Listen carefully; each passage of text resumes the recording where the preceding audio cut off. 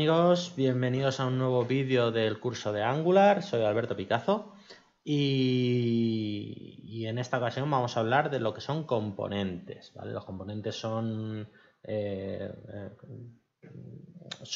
bastante, eh, bastante importantes en Angular. todo se puede sacar en, en componentes, componentes más grandes, componentes más pequeños. Eso nos facilitará la reutilización de, pues nuestros componentes porque hacemos eh, pues un componente, por ejemplo, de, vista de una lista desplegable con países y eso lo podemos reutilizar en toda nuestra aplicación. Es un ejemplo, ¿vale? Eh, y luego el componente más grande, pongamos que una componente puede ser una página dentro de esa página tener componentes más pequeños. Pues eh, para ver eh, cómo eh, lo que es un componente, la mejor forma es ver el componente que nos crea de inicio cuando creamos nuestra aplicación, ¿vale? Si nos vamos aquí al componente TS, ¿vale? Que sería el component TypeScript, veríamos, bueno, esto lo, cambié yo para probar, pero bueno, nos sirve. Eh, vemos que consta de una importación. Aquí se importa el, módulo de components para poder eh, transformar esta clase, porque esto no deja de ser una clase. Si nosotros quitáramos esto, veríamos que esto es una, clase que se llama app component. ¿vale? La forma de transformarlo en component es ponerle esta cabecera de component. ¿vale? ¿Y de qué consta este componente? tendríamos un selector que se llama approot. Este es el nombre eh, que vamos a usar para llamarlo, por ejemplo, desde el HTML. Si nos vamos al index HTML, veremos aquí, veis, que tiene una, una su selector, ¿vale? La, la etiqueta con la que la llamamos es approot, que coincide con la que tenemos aquí puesta. Luego, en la template URL es dónde está el HTML de ese módulo. ¿vale? Por ejemplo, aquí vamos a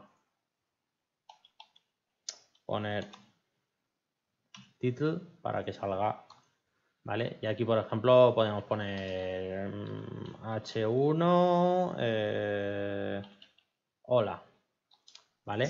Y entonces, cuando cargue el componente de inicio del app root, va a cargar esto, ¿vale? El hola y title.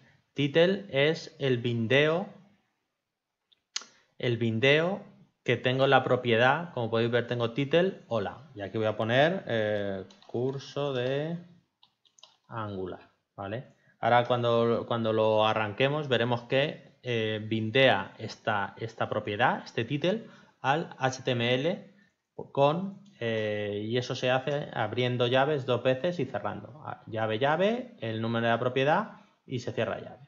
Así le, estamos bindeando eh, la propiedad del, componente al HTML. Vale, entonces, eso por un lado. Por otro lado, la template URL se podría poner aquí directamente si usáramos, en vez de template URL, eh, usáramos template. Si usáramos template, podríamos usar este esta, esta cadena, o sea, que no son cadenas simples ni la cadena doble, ¿vale?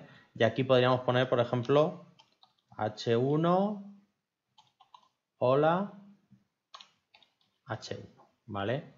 Así también podríamos tener, y esto, bueno, pues si tiene una o dos líneas se puede poner, aunque yo sinceramente prefiero ponerlo en una template que lo veo más, como más ordenado. Y luego el, style URL es donde se encuentra el CSS de este componente. Este CSS solo afecta a este componente. El ámbito de este CSS es solo para este componente. No afectaría a toda la aplicación. Para poner estilos eh, globalmente sería aquí en Styles CSS. A ver, que lo, que lo pongo aquí. Styles CSS. ¿Vale? Pues ya está. Eh, entonces, ¿qué más en components? Eh, si nosotros arrancáramos esto, ¿vale? Con ng menos o menos o, ¿vale? Se nos arrancaría... Vale, me falta el menos. Menos O. ¿Vale? Se está arrancando el server. Se está compilando. Y veremos que va a salir un H1 llamándose eh, eh, hola aquí. Se está cargando hola y bindea a lo que yo he puesto la propiedad curso de Angular. ¿Vale? Pues vale, hasta ahí. Hasta ahí hemos visto. Eh, hasta ahí hemos visto el, el componente que nos trae por defecto. Ahora, ¿cómo creamos nuestros propios componentes? Vale, pues muy sencillo. Con, aquí en el terminal, voy a poner un clear para no liarlos. Aquí en el terminal sería ng, luego eh, g de generate. También podemos poner eh, generate, la palabra, ¿vale? Pero bueno, g, c de component, también podemos poner component, ¿vale? Pero ponemos c y luego la ruta donde queremos crear ese componente. en mi caso, components y el componente que queremos crear, ¿vale? En, nuestro caso, pues por ejemplo, el header. ¿Vale? Pues ya hemos creado el componente header. Si vemos aquí, eh, se nos ha creado dentro de app en components y se nos ha creado el archivo CSS, el HTML, ¿vale? Del módulo, el spec, que es un módulo para, bueno, un archivo para test, que no lo vamos a calzar porque de momento no, de momento no vamos a ver nada. Y el TS, ¿vale? El, lo que hemos visto antes, el TP-script. Y ya nos ha creado un selector que podríamos cambiar, nos dice dónde está el HTML y dónde está el CSS, ¿vale? Hasta aquí no hay problema. Entonces ahora lo que vamos a hacer como, como es un header, vamos a crear una navegación. Aquí, como ya os dije, en Bootstrap tenemos un montón de ejemplos, con lo que vamos a ir a la navegación, a la navbar aquí y eh, view navbar. Bueno, pues aquí, por ejemplo, la esta, ¿vale? Pues nada, la copiamos y nos la llevamos a al HTML de nuestro componente. ¿Vale? Sin más. Aquí. salvamos. ¿Y cómo le decimos eh, que muestre nuestro componente? ¿Vale? Pues en el app component, si, vamos, si seguimos el, si tiramos del hilo, en index va a pintar el app root, ¿vale?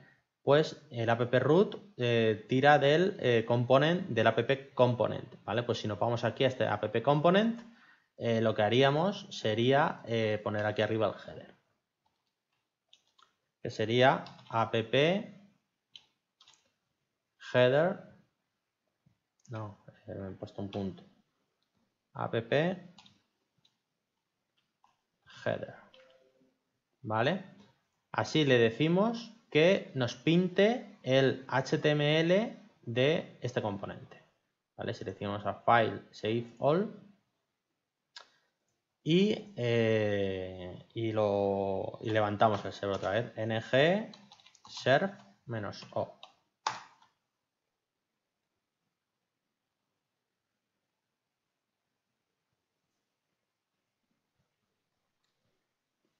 Mientras que se levanta, solo decir que en el app modules, eh, al, al, hacerlo con el.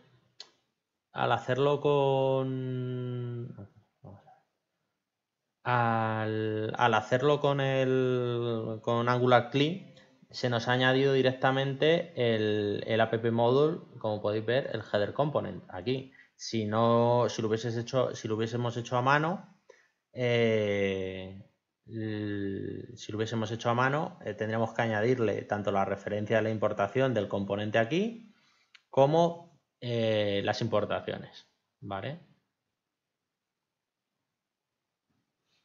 Eh, vale. Y podemos ver que se nos ha eh, pintado el, app component eh, con nuestra barra de navegación que hemos traído de Bootstrap y con lo que teníamos aquí de las propiedades de, la propia de la propia clase del app component. Pues nada más, así se crean los componentes y, nada más. En el siguiente vídeo seguiremos viendo cómo, cómo podemos eh, ir avanzando en, de forma básica en nuestro proyecto Angular. Un saludo y hasta luego.